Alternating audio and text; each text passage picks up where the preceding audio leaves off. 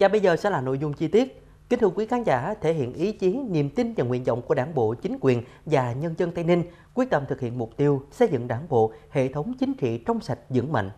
Và đó là phát biểu của đồng chí Nguyễn Thành Tâm, Bí thư tỉnh ủy, Chủ tịch Hội đồng Nhân dân tỉnh Tây Ninh tại phiên trụ bị Đại hội đại biểu Đảng bộ tỉnh Tây Ninh lần thứ 11, nhiệm kỳ 2020-2025, diễn ra vào sáng ngày 14 tháng 10 tại hội trường tỉnh ủy Tây Ninh.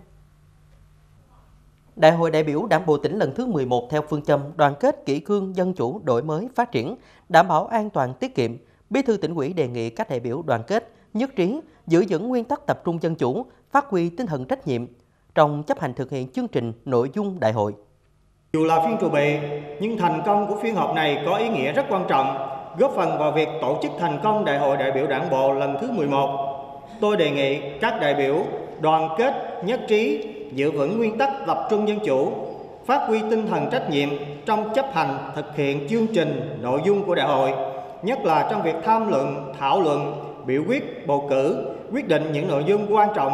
để đại hội đại biểu Đảng bộ tỉnh lần thứ 11 thành công, thể hiện ý chí, niềm tin và nguyện vọng của Đảng bộ, chính quyền và nhân dân Tây Ninh quyết tâm thực hiện thắng lợi mục tiêu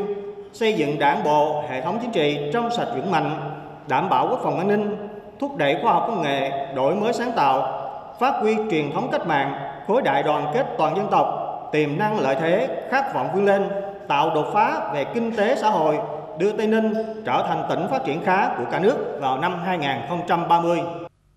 Đại hội đại biểu Đảng bộ tỉnh Tây Ninh lần thứ 11, nhiệm kỳ 2020-2025 sẽ tiến hành kiểm điểm, đánh giá toàn diện những thành tựu đạt được và những hạn chế khuyết điểm, đồng thời rút ra những nguyên nhân bài học kinh nghiệm trong quá trình thực hiện nghị quyết Đại hội Đảng bộ tỉnh lần thứ 10, nhiệm kỳ 2015-2020. Trên cơ sở đó, xác định phương hướng, mục tiêu, nhiệm vụ, giải pháp trong nhiệm kỳ 2020-2025. Sáng ngày 15 tháng 10, Đại hội đại biểu Đảng bộ tỉnh Tây Ninh lần thứ 11 sẽ chính thức khai mạc. Chúng tôi sẽ tiếp tục phản ánh sự kiện chính trị quan trọng này đến quý khán giả TTV11.